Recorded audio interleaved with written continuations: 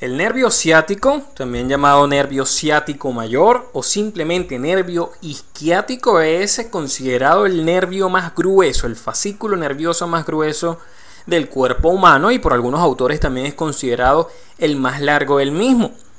Digamos que hay otros autores que hablan de que el nervio más largo del cuerpo es el nervio vago, sin embargo son nervios que comparten características distintas. Indudablemente si hablamos de los nervios que se encuentran raquídeos, que son parte del sistema nervioso periférico, que derivan de los plexos, el más largo sin dudas es este nervio ciático y nervio isquiático, que es un nervio bastante importante ya que inerva la mayoría de los músculos que se encuentran en el miembro inferior. Acompáñame entonces en el siguiente video a descubrir la anatomía de este nervio ciático o nervio isquiático. Muy bien, entonces, en el nervio ciático o, nervio isquiático, también llamado, es un nervio que es derivado del plexo sacro. Ya en mi canal van a encontrar un video del plexo sacro y plexo coccigio donde explico muy bien la constitución de este nervio. Lo que tienen que saber es que básicamente el nervio ciático o ciático mayor, ahí se ve lo grueso que es en comparación a las otras ramas del plexo sacro y del plexo coccigio. Entonces, este es originado desde las ramas anteriores de L4 hasta S3. Si usted ve, tanto L4 como L5, como S1, S2 y S3 aportan ramas para formar o conformarme al nervio ciático o nervio isquiático. Algo que usted le tiene que llamar la atención es que, bueno, esto que le estoy señalando aquí es el nervio ya formado. Pero fíjense ustedes que está formado como por dos raíces. No sé si logran verlo y que cada raíz tiene un color. Bueno, Básicamente lo que ven amarillo es porque es considerada división posterior de ese plexo sacro y lo que ven en verde es porque es división anterior. Pero fíjense ustedes entonces que el nervio ciático en sí está, digamos, conformado por la unión de dos nervios, que estos son los nervios que se pueden estudiar por separado o lo podemos estudiar en conjunto. Entonces en este video hablaremos específicamente del recorrido del nervio ciático una vez que está unido, pero cuando él llega a la parte inferior del muslo, nuevamente vuelve a separar sus dos componentes que previamente lo formaron, que son consideradas, digamos, las ramas eh, finales, las ramas terminales de ese nervio ciático, denominándose el nervio ciático popliteo externo, este que ven aquí en amarillo, y ciático popliteo interno, el que ven en verde. Sin embargo, estos dos nervios inervan demasiadas estructuras, estas ramas terminales del nervio ciático, y es por ello que les dediqué a cada uno de esos dos nervios un video por separado que bueno, les recomiendo que lo vean posteriormente después que terminen de ver este video del nervio ciático. Vamos a seguir entonces explicando esta constitución del nervio ciático, pero antes no te vayas a despegar del video.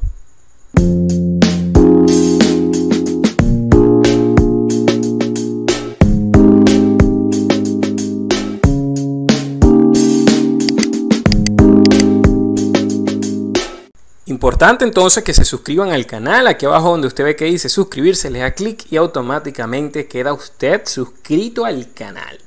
Entonces eh, lo que les comentaba es que este nervio se originaba de esas dos raíces, que son los dos nervios ciático popliteo, el verde es el interno y el amarillo es el nervio ciático popliteo externo. Entonces digamos que estas dos raíces se unen y conforman un solo fascículo grueso muscular que es el nervio ciático. Algunas veces, no es lo común, pero puede pasar que nunca se unan estas dos raíces y que ambos nervios ciático popliteos y, y, digamos que se originen directamente del plexo sacro y cada uno tenga su recorrido posterior similar al que, que tendrían después, pero sin unirse y, y no conforman en sí un nervio ciático como tal.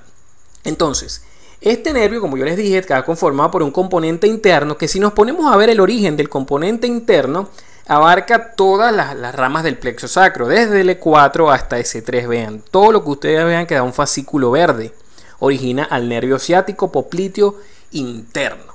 ¿Ok? Este nervio ciático popliteo interno también lo vamos a conocer con el nombre de nervio tibial. Así lo llaman también, nervio tibial. Pero cuando usted ve al nervio ciático popliteo externo y usted ve las ramas amarillas que lo conforman, va a ver que no tiene el mismo origen del ciático popliteo interno que solamente este ciático popliteo externo estaría conformado por las ramas anteriores de L4, de L5, de S1 y de S2, hasta ahí. S3 no participa en la formación del ciático popliteo externo. Este ciático popliteo externo también lo llaman nervio peroneo común. Entonces al ciático popliteo interno tibial y al, ciático popliteo externo peroneo común. Como les digo, estos dos nervios lo vamos a estudiar en detalle en videos apartes. Muy bien, si aquí vemos entonces al gran nervio ciático, un fascículo bastante grueso, esta es una visión posterior de la región de la nalga. Aquí podemos ver que él para pasar primeramente tiene que pasar por este gran agujero. Este agujero es el agujero sacrociático mayor. ¿Ok? Este agujero sacrociático mayor le da paso a varias estructuras, como por ejemplo el nervio pudendo, como por ejemplo el nervio obturador interno, como por ejemplo el nervio femorocutáneo posterior, como por ejemplo este músculo que es el músculo piramidal, este nervio que es el glúteo superior, este nervio que es el nervio glúteo inferior. Fíjense que muchas cosas pasan por ese agujero sacrociático mayor, que es el superior de los dos. Este que está aquí abajo sería el agujero sacrociático menor. Muy bien, entonces por allí es donde el nervio ciático pasa desde aquí. Vean que se supone que más o menos aquí está el hueso sacro, ¿cierto? Más o menos a este nivel saldrían esas raíces que conforman el nervio ciático. Entonces, él emerge por debajo del músculo piriforme, también llamado piramidal de la pelvis, pero por encima de este músculo, que es el músculo gémino o gemelo superior. Una vez que pasa entre esos dos músculos, se pone posterior al gemelo superior para después descender posterior ahora al obturador interno y luego posterior al músculo gemelo inferior.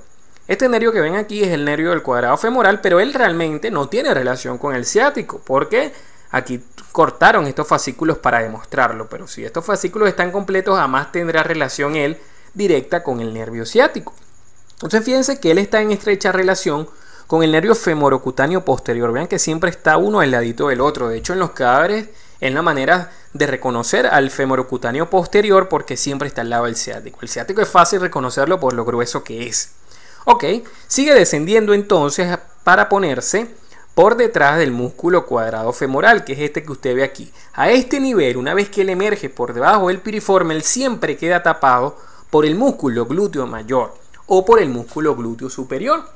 Y esto es importante saberlo porque cuando nosotros colocamos inyecciones, usted ve las personas que uno le coloca inyecciones intramusculares en la región glútea, uno siempre busca colocar la inyección en el cuadrante, usted divide la, esta, digamos, nalga en cuatro, y en el cuadrante superior externo es el lugar donde usted tiene que colocar la aguja. Porque vean que todo el paquete nervioso está en los compartimientos mediales o en los cuadrantes mediales. Entonces aquí corre menos riesgo, corre menos riesgo de lesionar, digamos, estructuras nerviosas importantes y eso es bueno saberlo. Entonces fíjense ustedes que él como nervio ciático, una vez que es el cuadrado femoral, ya se interna a nivel del muslo. Y aquí, bueno, ya lo vemos a nivel del muslo, vean al ladito el femorocutáneo posterior y fíjense que es cruzado por esta arteria que es la arteria glútea inferior. Él cruza la raíz del nervio ciático. Una vez que él llega al muslo, recuerden que él está conformado por dos raíces. O sea, ya están como que juntas pero no revueltas, para que más o menos entiendan. Entonces él sigue descendiendo y ya una vez que pasa por detrás del cuadrado femoral se pone ahora por detrás del aductor mayor, que es el tercer aductor, que es este que usted ve aquí. Y es cruzado anteriormente por la porción larga o la cabeza larga del músculo bíceps femoral. Muy bien, sigue descendiendo y se pone en relación con esta arteria, que es la arteria circunfleja humeral humeral no, disculpen, humeral es de húmero, es circunfleja femoral posterior. Y él pasa en un espacio, vean el espacio por donde pasó el nervio ciático, que está entre la tuberosidad isquiática o tuberosidad ciática del isquion y el trocánter mayor del fémur.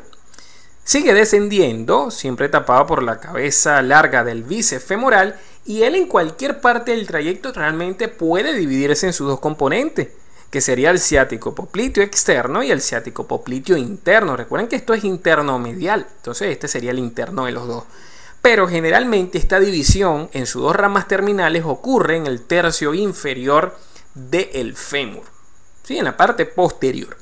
Algunos dicen que eh, ocurre a nivel del inicio de la fosa poplitea femoral. Bueno, fosa poplitea que también, por cierto, pueden ubicar en mi canal. En videos de mi canal hay un gran video donde explico y detallo el contenido y la, digamos, las relaciones de esta fosa poplitea. Entonces, él estando en esa región del fémur, él aprovecha e inerva esos músculos del compartimiento posterior femoral.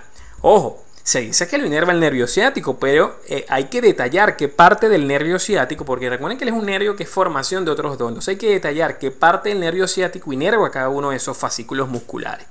La mayoría de las ramas de la, digamos, región posterior del muslo son inervados por la división interna, es decir, por el ciático popliteo interno.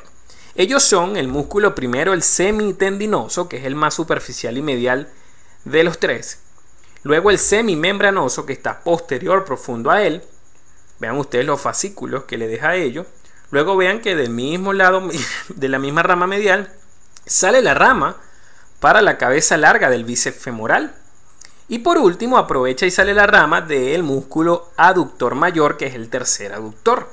Entonces estos cuatro músculos estarían inervados en la región femoral por el, componente ciático popliteo interno. Luego viene el ciático popliteo externo y él prácticamente nada más inerva a la cabeza corta del músculo bíceps femoral que estaría profunda a la cabeza larga que es esta del músculo bíceps femoral.